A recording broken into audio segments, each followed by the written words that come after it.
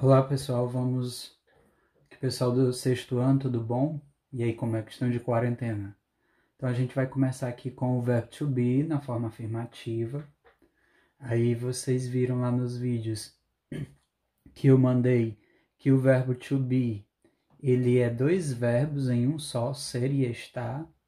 Então nós temos aqui, ó, nós vamos começar com a forma afirmativa, que é o I am you are, he is, she is, it is, we are, you are, they are. Por exemplo, aí você tem aqui, ó, I am from New Zealand, quer dizer que eu sou da Nova Zelândia. You are Chilean, você é chileno. He is 20 years old, ele é, ele tem 20 anos. She is a nurse. Ela é uma enfermeira. It is a big dog. Isso é um cachorro grande. We are intelligent. Nós somos inteligentes. You are students. Vocês são estudantes. They are married. Eles estão casados ou eles são casados, né? Aqui você vê um exemplo de como o verbo to be pode ser tanto o verbo ser, como ele combina bem com o verbo ser, e o verbo estar. Então, they are married. Eles são casados, eles estão casados. Tanto funciona o they para, hom é, para vários homens como várias mulheres, né? Então, você, vocês têm aqui a ideia do I, eu, you, você, he só para homem, she só para mulher, It é usado só para animais ou coisas, o I, nós, e o vocês e o they para eles ou elas. Então, nós temos aqui esse exemplo do verbo to be, né? Então, a gente vai continuar na próxima tabela. Você tem as formas é, que vocês podem reduzir do verbo to be. Então, o am fica I'm you are pode ser escrito your, he is, his, she is, she is, it is, it's, we are, we're, you are, your, e they are, there. Então você pode dizer as mesmas frases.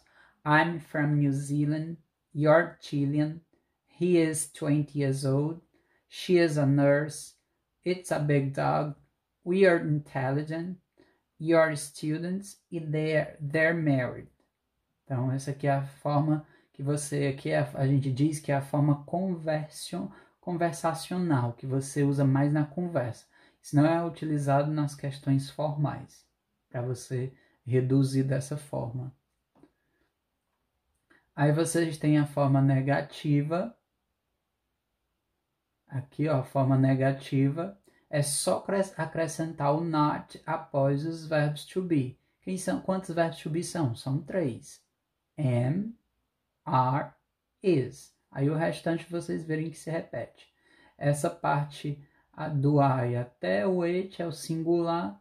E aqui, ó, do e o they, aqui é a parte do plural. Então, I am fica I am not. You are fica you are not. He is, he is, he is not. She is, she is not. It is, it is not. We are not. You are not. E they are not. Aí o que é que você faz? Só é acrescentar o not após o verbo. E nesse caso você fica dizendo: I am not from Spain. Eu não sou da Espanha. You are not Australian. Você não é da Austrália. He is not 30 years old. Você não tem 30 anos. She is not a secretary. Ela não é uma secretária. Aí, e por aí vai. É só voltando não. They are not single. Eles não estão solteiros ou eles não são solteiros. E aí vem.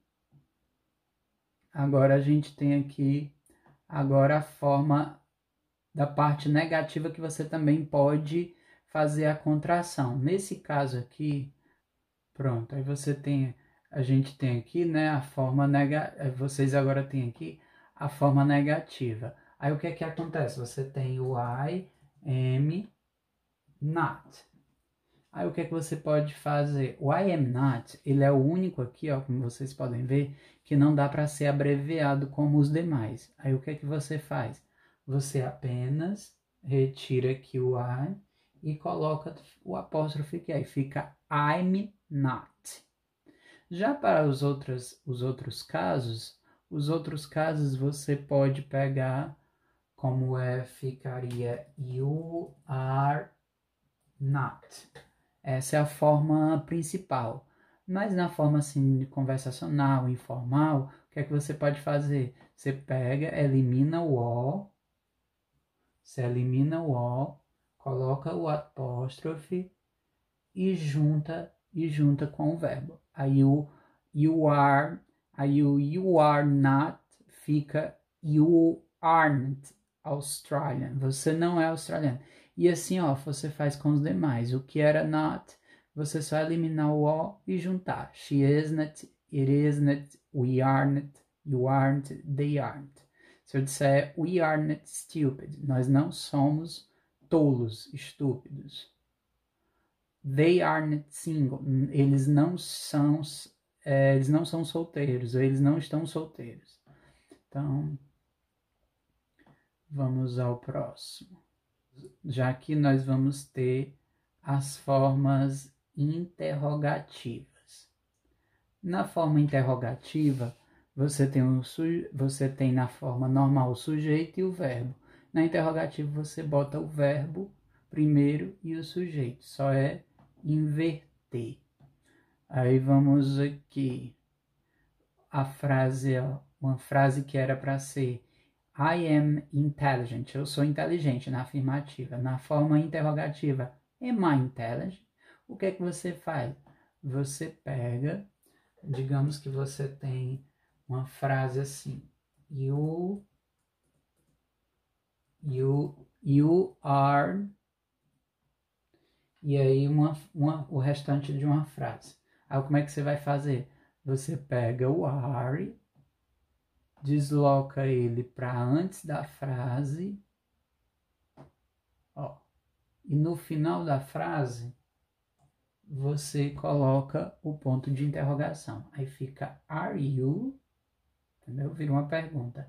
Aqui, ó. Am I intelligent? Are you a student? Is he a pilot? Is he from Spain? Is it a big house?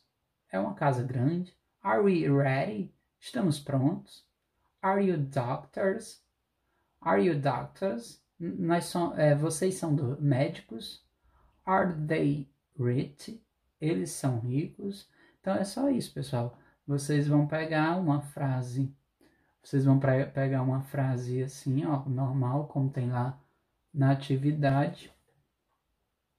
Então, ó, você tem uma frase lá como na atividade. Aí, digamos que vocês têm assim: The boy is here.